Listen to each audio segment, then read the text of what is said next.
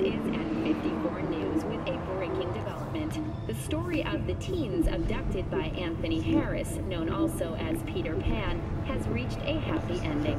Thanks to an anonymous tip, the NCPD managed to reach them in time. The rescued teens remain in critical but stable condition.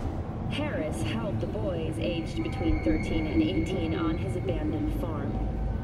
This heinous case is just another example of Night City's continued moral collapse. Crime in Night City is now double the rate than in the new United States. At this point, it seems a near guarantee that closer ties with the Union would help to get this city's security back on the right track. Stay tuned for more details after the break.